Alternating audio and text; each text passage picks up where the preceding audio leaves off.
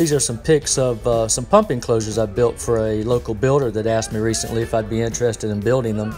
He wanted some pump enclosures that would be easily removable but also uh, have a lid that uh, you could get inside if you didn't want to completely move the enclosures.